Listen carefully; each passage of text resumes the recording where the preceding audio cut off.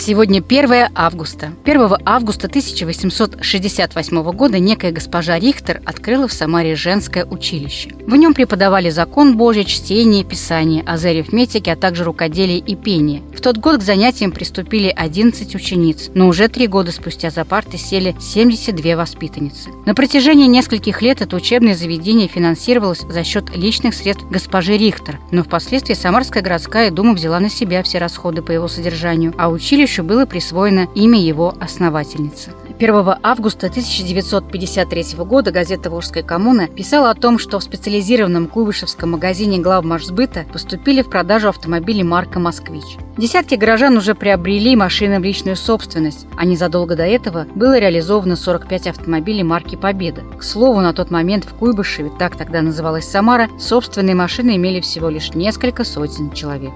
Ежегодно 1 августа в России отмечают День памяти российских воинов, погибших в Первой мировой войне. А еще сегодня Всемирный день борьбы с раком легкого.